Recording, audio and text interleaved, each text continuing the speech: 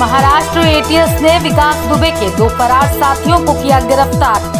मुंबई से सटे ठाणे इलाके से किया गया गिरफ़्तार। आरोपी अरविंद गुड्डन त्रिवेदी और सुशील कुमार सोनू।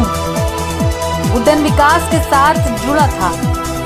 2001 यूपी के मंत्री संतोष शुक्ला की हत्या में भी ये शामिल था।